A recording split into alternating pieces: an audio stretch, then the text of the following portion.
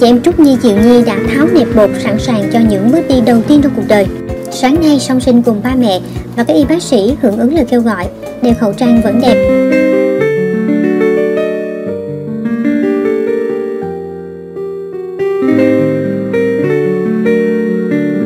bắt đầu kế hoạch tập vật lý trị liệu sẵn sàng cho hai chị em tập đứng tập đi những bước đầu tiên sau khi có một cơ thể rời nhau.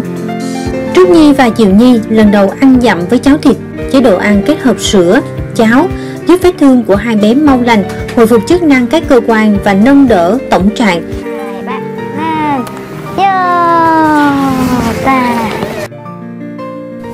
Giờ đây, hai bé đã có thể ngồi, đánh dấu một bước lớn về sự phục hồi trong niềm vui mừng của ba mẹ.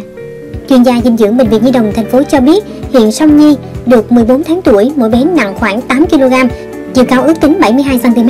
Hai bé có thể ăn hoàn toàn bằng đường miệng, uống 7 cữ sữa mỗi ngày. Để đáp ứng nhu cầu dinh dưỡng trong độ tuổi này, hai bé cần nạp khoảng 1.000 calo mỗi ngày, tăng cường protein và chất béo. Với chế độ ăn giàu dinh dưỡng kết hợp tập vật lý trị liệu, Song Nhi sẽ tiêu hóa tốt hơn và chóng lớn.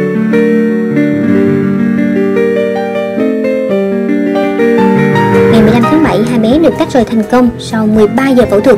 Thời gian tới, Song Nhi phải trải qua 4 cuộc đại phẫu tạo hình khung chậu, tiết niệu, tiêu hóa và tầng sinh môn. Các bác sĩ sẽ theo dõi hai bé đến năm 18 tuổi, đảm bảo khả năng sinh sản.